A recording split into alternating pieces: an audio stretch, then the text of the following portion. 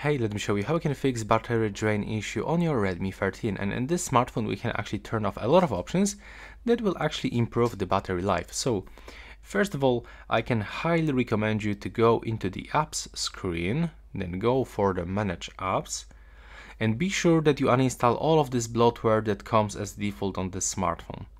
So what I mean, just basically remove every application uh, that you are not using on this smartphone we can find here some games, some apps like the Booking, the Amazon.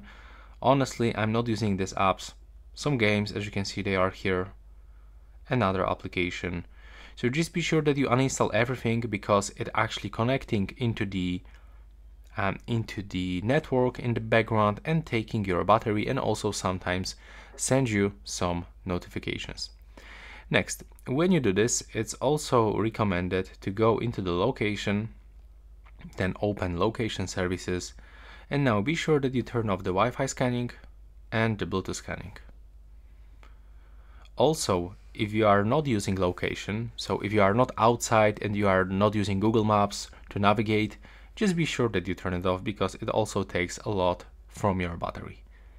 Right now, open the Google section. Now, go into the devices and the sharing and then open devices. Wait for the loading screen and be sure that you turn off this function scan for the nearby devices.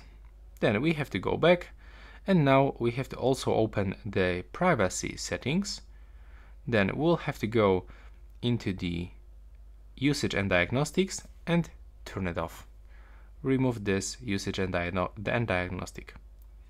Right now, go to the battery and it's also recommended to switch from the balance mode to the battery saver. As you can see, thanks to this function, we just get almost over two additional hours of the battery life. So that's really useful function.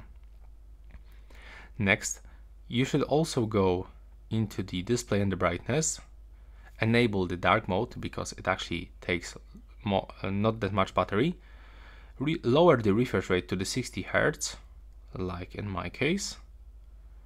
And also it's recommended to turn off the Bluetooth if you are not using the Bluetooth, like in my case, as you can see, I'm not connected with any device. So I can simply uh, turn it off.